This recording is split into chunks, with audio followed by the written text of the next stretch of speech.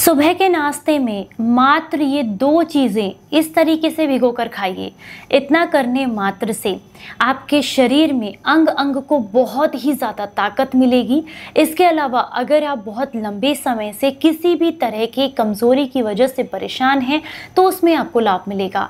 और 60 की उम्र में भी आपको 30 की जैसे आप महसूस करेंगे। रीज़न है, आपकी स्किन बहुत अच्छी रहेगी, जोड़ों में किसी तरह का दर्द नहीं होगा, स्किन ग्लो करती रहेगी जिससे आपकी उम्र का पता नहीं चलेगा।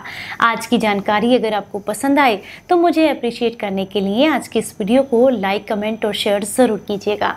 हेलो एवरीवन वेलकम बैक मैं आपकी होस्ट एंड दोस्त मधु, एक सर्टिफाइड डाइटिशियन और एक नेचुरोपैथ आज मैं बात कर रही हूँ नाश्ते में ऐसी दो चीज़ें ऐड करने के बारे में, जिनका इस्तेमाल करने से शरीर को ताकत मिलती है। अगर इन्हें आप लेते हैं तो इससे पूरे दिन शरीर को एनर्जी मिलती है, जिससे कि आप अपने काम को बेहतर तरीके से कर पाते हैं। सबसे पहली जो चीज़ है, वो है मूंगफली, जिन्हें छोटा बादाम भी कहा जाता है।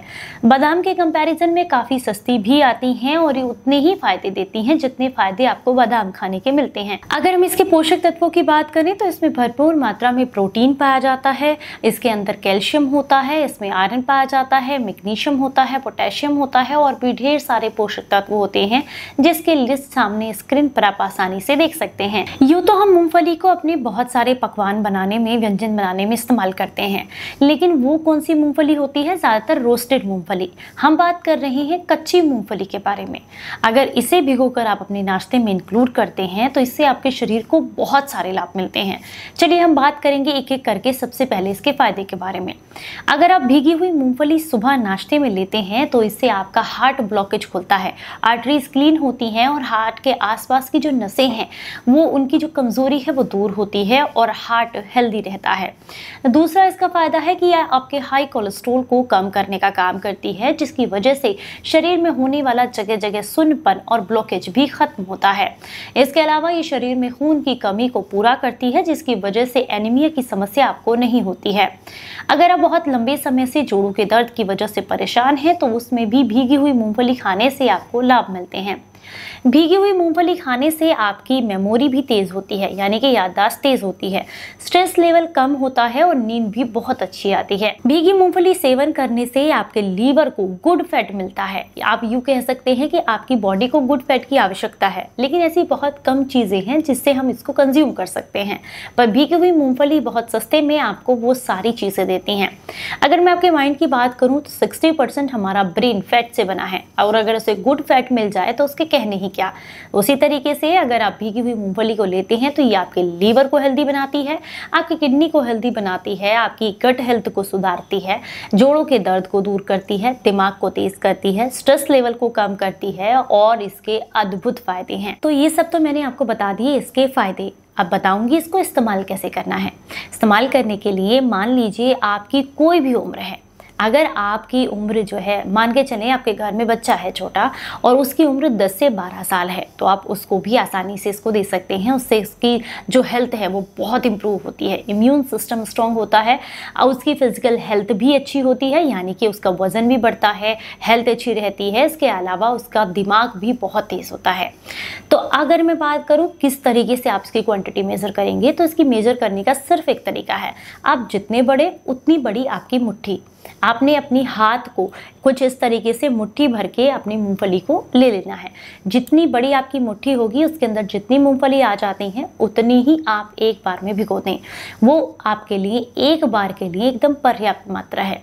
तो ये छोटा बच्चा होगा तो उसके हाथ में जितनी आएँगी, उतनी उसके लिए अच्छी है। जितने आप बड़े होंगे, उतनी आएँगी, उतनी आपके लिए अच्छी हैं। तो इसलिए मुट्ठी भर मूँगफली आपने लेनी है। अच्छे से पानी से धुले, धुलकर रात को किसी बर्तन में इनको भिगो कर रखते हैं। ध्यान रखना है जो पानी है, इसका इस्तेमाल अगर आप करना चाहते हैं तो कम से कम पाँच से छः बार आपको पहले मूंगफली को धुलना होगा, उसके बाद आप इस पानी का इस्तेमाल कर सकते हैं। अदरवाइज़ इस पानी को आप डिस्कार्ड कर सकते हैं। इसके बाद सुबह के समय में हल्का रगड़ कर इसका छिलका उतार लें, या फिर चाहें तो ऐसे भी यूज़ कर सकते हैं। अब इसे लेने के दो तरीके हैं। पहला है, आप इसे मिक्सी के जार में डाल करके हल्के हल्के राउंड्स लेकर के पीस लें। इसकी चटनी बना लें। दूसरा है, आप इसे चबा चबा कर खाएँ। वैसे सबसे बेहतर तरीका है कि आप इसे सुबह चबा कर खाएँ और अगर नहीं खा सकते हैं तो इसका दूध या स्मूदी बनाकर या चटनी बना करके ले सकते हैं।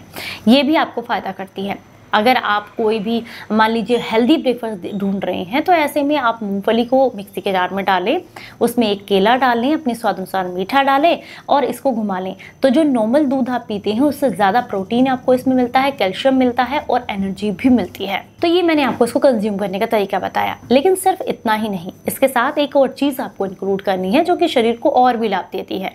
वो है किशमिश रेजियंस जिसे हम कहते हैं। बहुत आसानी से आपको मार्केट में मिल जाती हैं। आपने क्या करना है? 10 से 12 दाने किशमिश के अच्छे से पानी से धुलकर साफ़ करने हैं और उनको जो है रात को आधी कटोरी पानी के साथ भिगो कर रखना है। अब आपने क्या करना है? अगले दिन सुबह सुबह ये जो किशमिश है, इसे नाश्ते में चबाकर खाना है और पानी को ऊपर से सिप सिप करके पी लेना है। अब आप कहेंगे इन दोनों को क्या एक साथ भिगो सकते हैं? बिल्कुल नहीं, क्योंकि कई बार मूंगफली जो है उसमें कीड़ा हो सकता है या फिर उसमें कोई समस्या है तो ऐसे में आप अगर उसके साथ भिगोएँगे तो फिर उस पानी को कंज्यूम नहीं कर सकते हैं। तो इसलिए दोनों को अलग अलग भिगोएँ किसमिस के पानी को आप चाहें, जैसे शेक बनाते हैं तो उसमें भी इंक्लूड कर सकते हैं, अगर पीना नहीं चाह रहे हैं। या फिर किसमिस चबा कर खा लें, पानी पी लें, ऊपर से जब किसमिस खा रहे हैं तो साथ साथ मूँगफली भी चबा कर खा सकते हैं। अगर मैं किशमिश की बात करूँ तो इसमें भी भरपूर मात्रा में ऐसे पोषक तत्व पाए जाते हैं, जो शरीर को लाभ देते हैं, जिसकी पूरी लिस्ट सामने स्क्रीन पर आप देख सकते हैं। किसमिस का इस्तेमाल करने से सबसे बढ़िया फ़ायदा आपके लीवर को मिलता है, क्योंकि इसमें हेप्टोप्रोटेक्टिव तत्व पाए जाते हैं। ये लीवर को क्लीन करने और मज़बूत बनाने के लिए बहुत फ़ायदेमंद है। इसके अलावा जो लोग ये कहते हैं कि उनकी आँखों की रोशनी कमज़ोर हो गई है और उन्हें जो है चश्मे का नंबर उनका बढ़ता चला जा रहा है। ऐसे में आपको किशमिश को अपनी डाइट में ज़रूर इंक्लूड करना चाहिए। अगर किशमिश को इस तरीके से भिगोकर इस्तेमाल करते हैं तो कॉन्स्टिपेशन की समस्या भी दूर होती है, यानी कि कब्ज की समस्या दूर होती है। इस तरीके से किसमिस को लेने से शरीर में खून की कमी पूरी होती है एनमिया की समस्या दूर होती है। किसमिस का पानी पीने से आपके शरीर को डिटॉक्स करने में आपको बहुत मदद मिलती है, चाहे वो लीवर का डिटॉक्सिफिकेशन हो, चाहे किडनी का हो, चाहे आंतों का हो।